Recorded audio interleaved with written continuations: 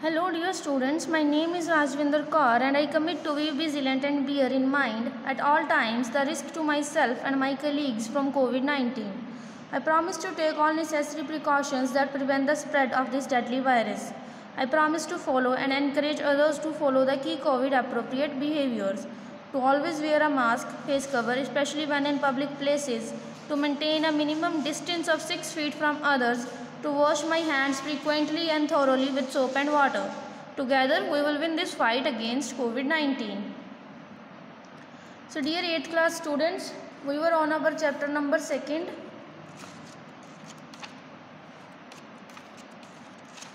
That is working in Microsoft Excel. We have already done our exercise work. Now we will do our question answers. So first question is what is a worksheet how can you insert a new worksheet in a workbook so worksheet basically क्या है? So worksheet is a spreadsheet is called a worksheet in Excel a worksheet contains cells organise in the form of rows and columns a worksheet begins with row number one and column A so एक spread sheet होती है, एक worksheet होती है Excel में. Spreadsheet as in that is a combination of rows and columns rows and columns को मिला के एक सेल बनता है same at is that is B one is a combination of B column and row one so इनको मिला के एक सेल बनता है। और ये जो प्रॉपर शीट होती है, इसको स्प्रेडशीट बोला जाता है दैट इज़ योर वर्कशीट और इनको जब कंबाइन करते हैं and that makes a workbook so how we can insert a new worksheet firstly right click on the sheet tab before which you want to insert a new worksheet. तो इसका जो answer है, वो हम page number 18 पे देख सकते हैं। ठीक है, हमने शीट टैब में से राइट क्लिक करना है बेसिकली तो हमारे पास एक पॉपअप मेन्यू अपीयर होगा, उसमें से क्या चूज़ करना है हमने? इंसर्ट एंड देन एक डायलॉग बॉक्स अपीयर होगा। उसमें से हमने सिलेक्ट करनी है वर्कशीट की option in general tab so general tab में से वर्कशीट की ऑप्शन को हमने चूज़ करना है then click okay so our new worksheet will be inserted right और सिंपली हमारे पास क्या होता है? एक प्लस का साइन होता है on the sheet tab we can simply click that sign और इस साइन से क्या होगा कि जो शीट है वो लास्ट वाली शीट के एंड में इंसर्ट होगी. लेकिन इसका क्या फ़ायदा है कि जब भी आप इंसर्ट करोगे तो जिस शीट पे आपने क्लिक किया होगा, ये उसके आगे इंसर्ट होती है। और right so second question is what is a range how do you name a range in Excel so selected rectangular block of two or more cells is called a cell range or simply range so जो भी हम cells को select करते हैं, उसको range बोला जाता है। A range is represented by the cell address of the first cell and its diagonally opposite cell.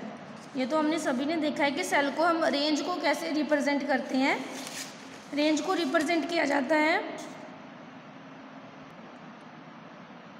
First cell से और इसके डायगनली ऑपोजिट सेल से। That is A one is the first cell and C four is the diagonally opposite cell so this is a range selected area so इन्होंने एक example दिया है। कि अगर हमने सेलेक्ट किया A one to B four so इसको हम कैसे लिखेंगे? A one colon B four हम रेंज को नेम कैसे दे सकते हैं? You can define a name for a cell range firstly हमें सिलेक्ट करनी है वो वाली रेंज जैसे इन्होंने यहाँ पे ये सिलेक्ट किया है। सेकेंड स्टेप क्या है? Click on the name box simply A column के ऊपर एक नेम बॉक्स होता है। हमने वहाँ पे क्लिक करके नेम को एंटर कर देना है देन प्रेस एंटर तो हमारी रेंज का जो है नेम वो सिलेक्ट हो जाएगा वहाँ। So third question is what is a formula explain with the help of an example अभी फार्मूला क्या है? हम मैथमेटिक्स में हम भी कोई सॉल्व करते हैं तो we use formulas so in Excel we also use formulas so formulas are used in Excel to perform mathematical operation such as addition subtraction multiplication average and percentage कोई भी मैथमेटिकल ऑपरेशन परफॉर्म करना है हमने Excel में तो we use formulas अब formula starts with an equal sign this is a compulsion के जो फॉर्मूला है, वो हमेशा इक्वल साइन से ही स्टार्ट होगा। It can contain number cell addresses ranges and operators so एक फार्मूला में क्या क्या हो सकता है?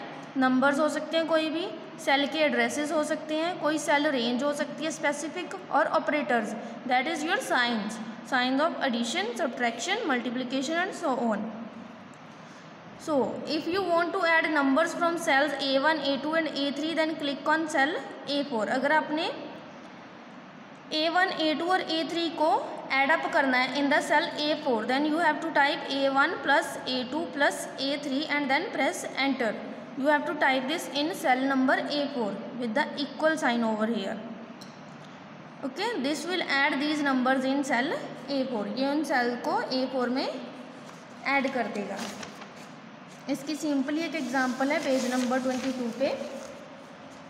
यहाँ पे उन्होंने three cell A one A two और ए थ्री में वैल्यूज़ दी हैं और ए फोर में इक्वल टू डाल के A one plus A two plus A three then enter so total जो एडिशन है वो सेल नंबर ए फोर में हो जाएगी।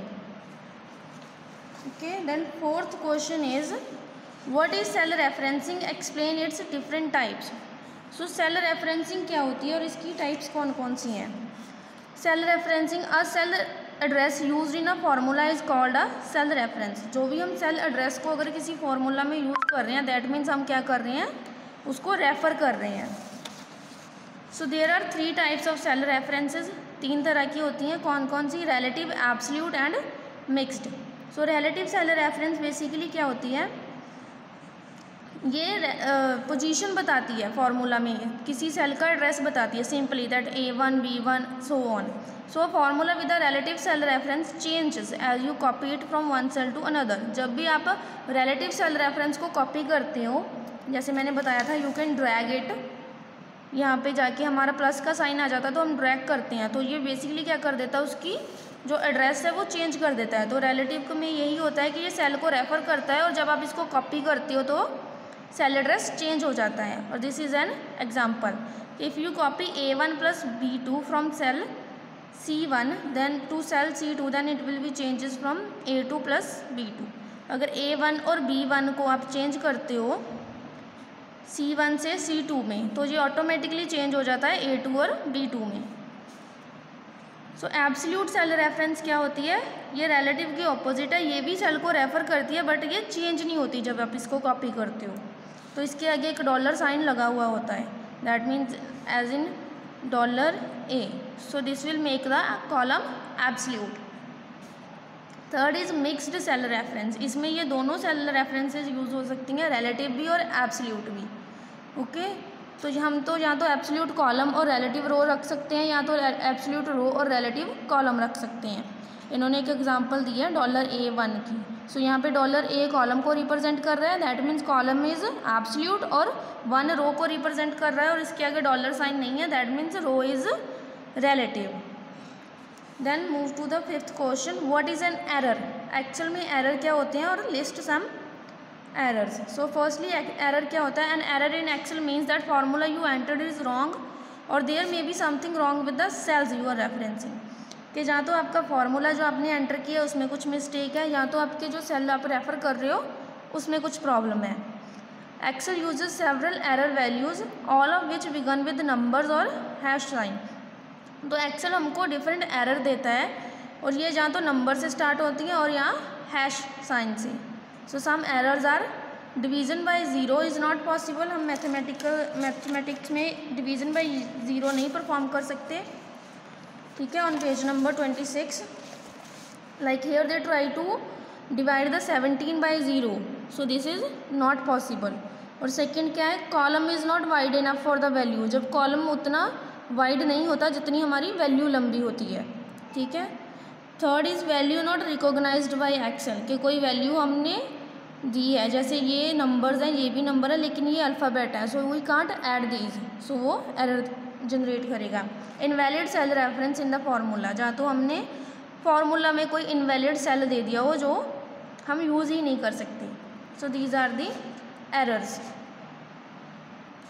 so with this question your chapter second is completed अपने अच्छे से रिवाइज करना है इसको। कोई भी प्रॉब्लम हो आस्क में in the online class okay till then take care